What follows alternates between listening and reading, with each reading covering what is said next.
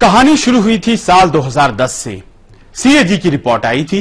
Report ये कहती थी कि टूजी घोटाला हुआ है एक लाख छिहत्तर हज़ार करोड़ रुपए का।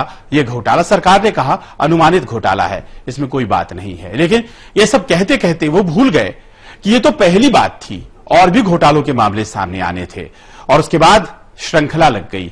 कोलगेट का मामला। और कहा गया, एक लाख पचासी हज़ार करोड़ का घोटाला। और उसके बाद सीएजी घोटाला, और उसके बाद आदर्श घोटाला। और कहा गया कि जो फ्लैट्स मिलने चाहिए थे उन परिवारों के, जिनके वीर सपूतों ने बॉर्डर पर अपनी जान दी थी, उसे ले लिया राजनीतिज्ञों ने। और इस तरह के घोटालों के बीच ऐसा लगा कि विश्वास टूट गया। उस सरकार में विश्वास टूट गया था, जिसे दूसरी बार मौका दिया गया था। यूपीए टू नाम था उसका, और वहाँ से संग्राम शुरू हुआ। भारतीय जनता पार्टी उस लड़ाई को जिस तरह से लड़ रही थी, लोग उससे संतुष्ट नहीं थे। और आपको याद होगा, अप्रैल 2011 में एक जन लोकपाल एक ओम्बड्समैन जो कि वॉचडॉग की तरह नज़र रखे सरकार पर, इसकी ज़रूरत है। और उस जन लोकपाल की मांग करते हुए अरविंद केजरीवाल ने जंतर मंतर पर धरना शुरू किया। बमुश्किल पंद्रह लोग थे उस दौरान। और बढ़ती गई भीड़।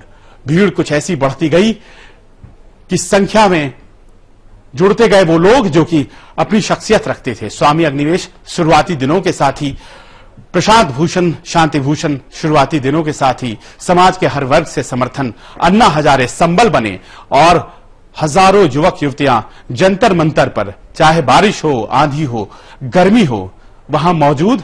और मैंने खुद देखा, अपनी आँखों से कई बार युवा जोड़ों को यहाँ पहुँच करके कहीं ना कहीं उस जज्बे का एहसास करते हुए अपने बच, अपने बच्चों को कंधे पर लाद पिता पहुँचते थे और दिखाना चाहता था वो कि किस तरह से एक नया आंदोलन खड़ा हो रहा है। और ये जोश खरोश कहा जा सकता था कि लगा ऐसे कि देश की राजनीति बदल देगी।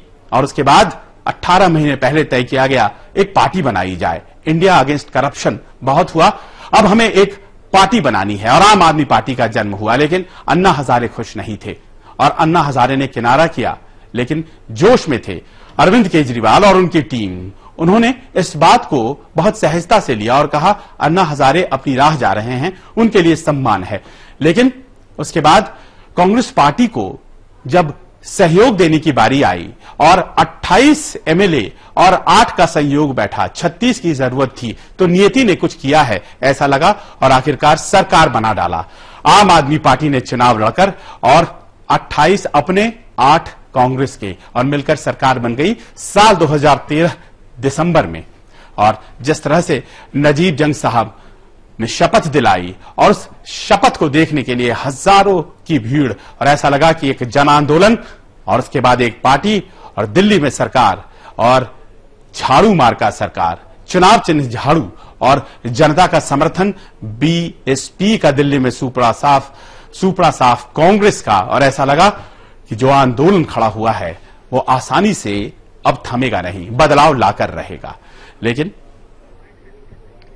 लेकिन यहाँ आपको यह भी बताना ज़रूरी है कि दिल्ली में सरकार बनाने से पहले किस तरह से अरविंद केजरीवाल ने सर्वे का हवाला दिया था और कहा था कि वो सारे वादे पूरे किए जाएँगे जो किए गए हैं।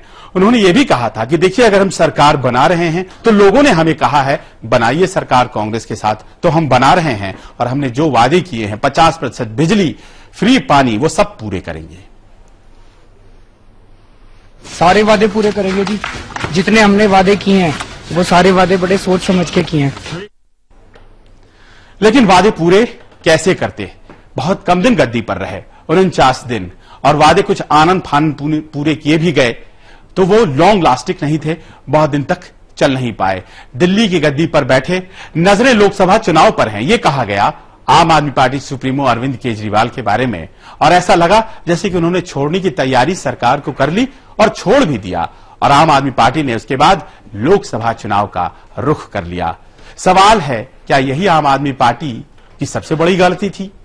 और क्या अगर यह गलती की गई थी तो फिर सुधारा जा सकता था? क्या दिल्ली के सपने को अधूरा छोड़ना अरविंद केजरीवाल और उनकी टीम की सबसे बड़ी गलती थी? क्या अरविंद केजरीवाल ने अपनी राजनीतिक कद को पहचानने में कोई भूल कर दी? शीला दीक्षित को हराकर उन्हें क्या इस बात का विश्वास हो गया कि वो नरेंद्र मोदी को भी हरा देंगे? क्या बिना पुख्ता सबूत के उन पर आरोप लगाना जो राजनीतिज्ञ थे मज़े हुए, सही था? केजरीवाल और उनकी टीम ने राजनीति में परिवारवाद का विरोध किया, लेकिन क्या खुद ही व्यक्तिवाद को बढ़ावा दे दिया? क्योंकि अरविंद केजरीवाल के अलावा और कोई इस पार्टी में नहीं है, ऐसा वो कहते हैं जिन्होंने कभी अरविंद केजरीवाल के साथ काम किया है। अब ये अपने आप में ऐसे सवाल हैं कि आखिरकार अरविंद केजरीवाल जो थे, वो अब नहीं हैं।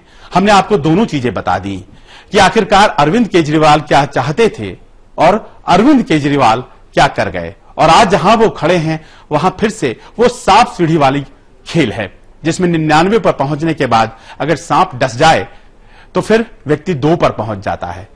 आगे आपको एक विराम के बाद बताएँगे कि क्या क्या चुनौतियाँ हैं आज की तारीख में आम आदमी पार्टी के सामने, अरविंद केजरीवाल के सामने, और क्या इन चुनौतियों को पूरा करना आसान होगा।